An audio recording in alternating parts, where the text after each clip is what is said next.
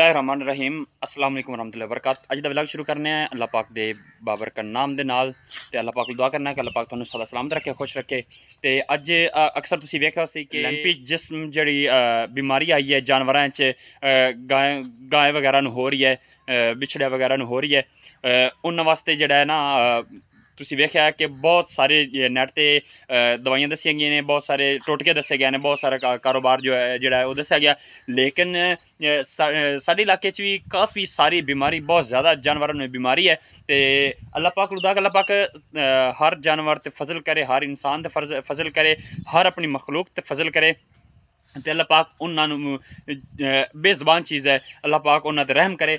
ਤੇ ਅਸੀਂ ਜਿਹੜਾ ਹੈ ਅੱਜ ਆਏ ਹਾਂ ਜੀ ਉਹਨਾਂ ਵਾਸਤੇ ਜਿਹੜਾ ਨਾ ਇੱਕ ਇਲਾਜ ਦੱਸਿਆ ਗਿਆ ਕਿ ਰਤਕਾਂ ਜਿਹੜਾ ਰਤਕਾਂ ਪੌਦਾ ਇੱਕ ਹੁੰਦਾ ਬੂਟਾ ਹੁੰਦਾ ਹੈ ਤੇ ਬੂਟੀ ਇੱਕ ਹੈ।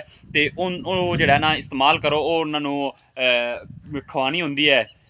ਉਹ ਜਿਹੜਾ ਨਾ ਉਹ ਕਹਿੰਦੇ ਨੇ ਕਿ ਉਹਨਾਂ ਨੂੰ ਖਵਾਓ ਤੇ ਉਹ ਉਹਦੇ ਨਾਲ ਠੀਕ ਹੋ ਜਾਸੀ ਤੇ ਅੱਜ ਅਸੀਂ ਆਏ ਹਾਂ ਜੀ ਇੱਥੇ ਪੌਦਾ ਹੈ ਰਤਕਾਂ ਦਾ ਤੇ ਉਹ ਤੁਹਾਨੂੰ ਵਿਖਾਣੇ ਆ ਕਿ ਕਿਸ ਤਰ੍ਹਾਂ ਦਾ ਹੁੰਦਾ ਤੇ ਉਹ ਅਸੀਂ ਲੈਵਨ ਆਏ ਖੜੋਤੇ ਆ ਤੇ ਤੋੜਨ ਆਏ ਹਾਂ। ਤੇ ਉਹ ਸਾਡੇ ਇੱਕ ਜਿਹੜਾ ਨਾ ਜਾਨਵਰ ਹੈ, ਉਹਨੂੰ ਜੋ ਬਿਮਾਰੀ ਹੈ, ਤੇ ਅਸੀਂ ਉਹਨੂੰ ਖਵਾਣਾ ਹੈ ਤੇ ਇਨਸ਼ਾਅੱਲਾ ਅੱਲਾਹ ਪਾਕ ਖੈਰ ਕਰੇਗਾ। ਤੇ ਅਸੀਂ ਤੁਹਾਨੂੰ ਵਿਖਾਣੇ ਆ ਕਿ ਰਤਕਾਂ ਦਾ ਬੂਟਾ ਕਿਸ ਤਰ੍ਹਾਂ ਦਾ ਹੁੰਦਾ ਹੈ ਤੇ ਉਹ ਅਸੀਂ ਤੁਹਾਡੇ ਨਾਲ ਆਏ ਹੋਏ ਹਾਂ। ਤੁਹਾਨੂੰ ਵਿਖਾਣੇ ਆ ਤੇ ਸਾਡੇ ਚੈਨਲ ਨੂੰ ਜਲਦੀ ਨਾਲ ਜਿਹੜੇ ਜਿਹੜੇ ਸਾਡੇ ਚੈਨਲ ਦੇ ਨਵੇਂ ਹਨ, ਉਹ ਉਹਨਾਂ ਨੂੰ most welcome most welcome most welcome ਦਿਲ ਦੇ ਥਾ ਕਰੀਏ, ਨਾਲ ਅਸੀਂ ਖੁਸ਼ ਆਮਦੀਦ ਆਨੇ ਆਏ ਤੇ ਸਾਡੇ ਚੈਨਲ ਨੂੰ ਜ਼ਰੂਰ ਸਬਸਕ੍ਰਾਈਬ ਕਰ ਲਵਣ ਬੈਲ ਬਟਨ ਜ਼ਰੂਰ ਦਬਾ ਦੇਣ ਤਾਂ ਕਿ ਸਾਡੀ ਹਰ ਨਵੀਂ ਨਵੀਂ ਵੀਡੀਓ ਦਾ ਨੋਟੀਫਿਕੇਸ਼ਨ ਤੁਹਾਡੇ ਤਾਈਂ ਬਾਸਾਨੀ ਪਹੁੰਚਦਾ ਰਹੇ। ਤੇ ਹੁਣ ਅਸੀਂ ਤੁਹਾਨੂੰ ਵਿਖਾਣੇ ਆ ਜੀ ਰਤਕਾਂ ਦਾ ਬੂਟਾ ਤੇ ਭਾਈ ਹੋਰੀ ਜਿਹੜੇ ਨੇ ਉਹ ਤੋੜਦੇ ਪਏ ਨੇ ਰਤਕਾਂ ਦਾ ਜਿਹੜਾ ਪੌਦੇ ਪਾਪੇ ਵਗੈਰਾ ਜਿਹੜੇ ਨੇ ਇਹ ਤੁਸੀਂ ਵੇਖ ਰਹੇ ਹੋ। ਤੇ ਇਹ ਜਿਹੜਾ ਰਤਕਾਂ ਦਾ ਬੂਟਾ ਹੈ ਜੀ ਤੇ ਇਹਨੂੰ ਕੁੱਟ ਕੇ ਤੇ ਇਹ ਖਿਲਾਵੀਦਾ ਹੈ। ਇਹ ਚੈੱਕ ਕਰੋ ਵੇਖ ਰਹੇ ਹੋ ਤੁਸੀਂ। ਇਹ ਹੈ ਜੀ ਰਤਕਾਂ ਦਾ ਬੂਟਾ।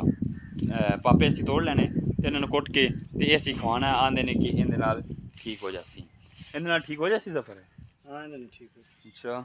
ਵੱਡੇ ਜਾਨਵਰ ਨੂੰ ਕਿਵੇਂ ਖਵਾਉਣੀਆਂ ਅੱਛਾ। ਲੜੀਆਂ ਅੱਛਾ। ਛੋਟੇ ਜਾਨਵਰ ਨੂੰ ਕੋਟ ਕੇ ਨਾ ਪਾਣੀ ਚ। ਸਹੀ।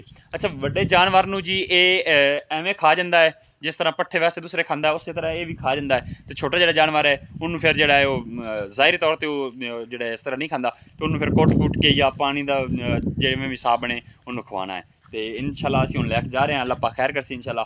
ਤੇ ਇਹਦੇ ਨਾਲ ਠੀਕ ਹੋ ਜਾਸੀ ਦੁਆ ਹੈ ਕਿ ਅੱਲਾਹ ਪਾਕ ਉਹਨਾਂ ਨੂੰ ਸਿਹਤ ਦੇਵੇ ਤੇ ਅੱਲਾਹ ਪਾਕ ਸਾਨੂੰ ਵੀ ਅਹ, ਸਿਹਤ ਵਾਲੀ ਲੰਮੀ ਜ਼ਿੰਦਗੀ ਦੇਵੇ ਤੇ ਹੁਣ ਅਸੀਂ ਤੁਹਾਡੇ ਕੋਲ ਲੈਣੇ ਇਜਾਜ਼ਤ। ਇਨਸ਼ਾਅੱਲਾ ਅਗਲੀ ਵੀਡੀਓ 'ਚ ਮਿਲਸਾਂ ਹੈ ਤੇ ਉਤਨੀ ਦੇਰ ਤੱਕ ਅੱਲਾਹ ਹਾਫਿਜ਼।